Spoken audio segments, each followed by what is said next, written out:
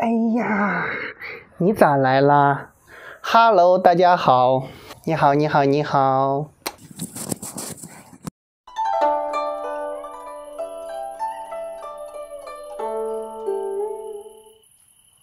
月亮，距离我们最近的地外天体，从人类抬头仰望夜空的那一刻起，它就在那。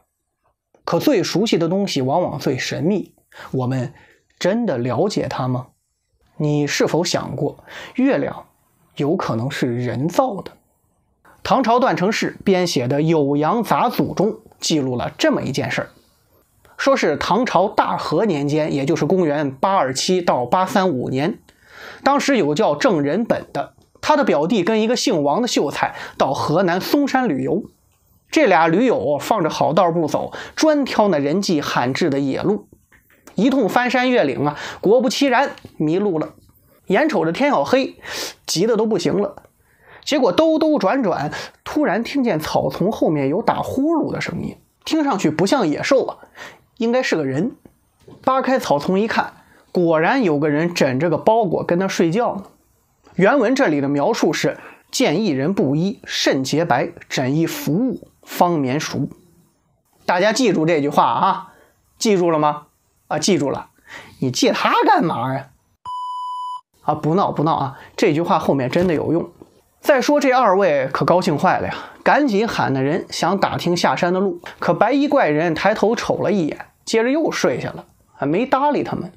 也是啊，人家睡得正香，被你弄醒，搁谁也不爱搭理你，不是？郑仁本的表弟和王秀才好不容易见到希望，那哪能放过呀？又喊了好几遍，那白衣怪人终于烦得受不了了，坐起来招呼他俩：“来来来来来，你俩过来，来，我保证不打死你。”二人壮着胆子到跟前儿，把来意一说，又随口问了句：“您打哪儿来呀？”接下来，白衣怪人说了一段特别奇怪的话。他没直接回答问题啊，而是先反问二人：“君之月乃七宝合成乎？”这里所谓的七宝，可能是作者借用了佛教的说法，翻译成更容易理解的话，那就是月亮是某种复合型材料建造而成的，并非自然产物。话说。你觉得那是种什么复合材料呢？接着第二句话更不得了了，白衣怪人说：“月势如丸，其影日烁其突处也。”这句不用翻译，大家都懂，因为对于接受过义务教育的现代人来说，这是小学生都知道的常识啊。月球是球体，本身不发光，亮处是反射太阳光的，阴影呢，则是光照在突出的球面上形成的。可您别忘了，这话出自于一个唐朝人之口啊。虽然早在汉朝的道教文献中就有过“天体如弹丸”的说法，但表述并不具体。而世界上第一台天文望远镜诞生于1608年的荷兰。普遍认为的第一张月球表面图是伽利略在一六零九年绘制的，《酉阳杂俎》里这段记录足足比他们早了七百七十多年。白衣怪人在没有科学观测仪器辅助的情况下，是怎么知道这一切的呢？咱们先把这个问题放一放，接着往下说。接下来，白衣怪人终于回答了二人最开始提的那个问题：他从哪儿来？常有八万二千户修之，雨季一数。这就有点科幻了哈。按他的说法，月球不仅是用复合材料人工建造而成的，上面还有八万两千户常住居民。这些人的工作就是建造和维修月球，他呀也是其中的一员。哎，您琢磨啊，他这描述的，是不是有点眼熟啊？怪人说完，打开包裹，里面有一些看上去像斧头、凿子之类的工具，哎，应该就是他修月亮用的。另外呢，还有两包明显是食物的东西。怪人呢称之为玉蟹饭，他倒是很大方，拿出一些分给两人让他们吃，并且交代说：“分食此，虽不足长生，可一生无疾耳。”独立包装。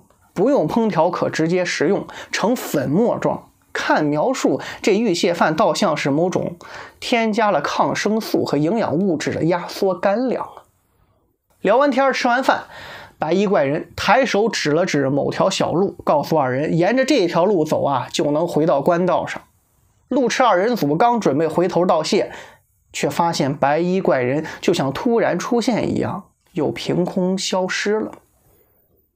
好了。现在让我们再回到开头那段对怪人外形的描述，还记得吗？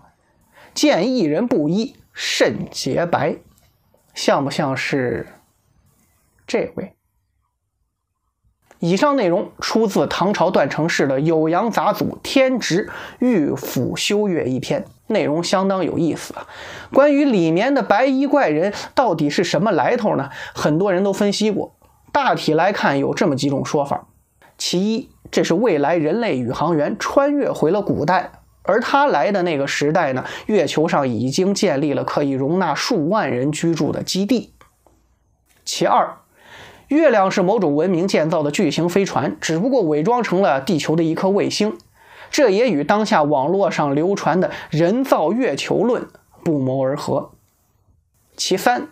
月球是上一轮地球文明幸存者依靠遗留的科技建造的秘密基地。其次，人类中存在超越时代的种族或者神秘组织，早在数千年前就已经掌握了地外生存技术，只不过因为某种原因对普通人隐藏了起来。其五，白衣怪人并不存在，郑仁本的表弟和王秀才被灵魂穿越者占据了躯壳。或者根本就是两个穿越者假扮的，而本尊啊，已经死在了嵩山深处。其六，段成是老爷子瞎编逗我们玩的。你觉得第几个猜想比较靠谱呢？中秋节到了，赏月的时候啊，不如把这个故事也讲给家人听，看看他们支持哪种观点呀？以上内容纯属娱乐，切勿当真。不过前两天咱们的三位航天英雄刚刚结束了三个月的太空生活，安全落地。相信不久的将来，咱们一定会有属于自己的月球基地。到那个时候啊，搞不好真有哪位宇航员无意间打开了时间之门，穿越回了古代呢？好了，这就是酉阳杂祖天职御府修月的故事。我是猫猪，祝屏幕前的你中秋节快乐，阖家幸福。更多志怪奇闻，咱们下期接着谈，拜拜。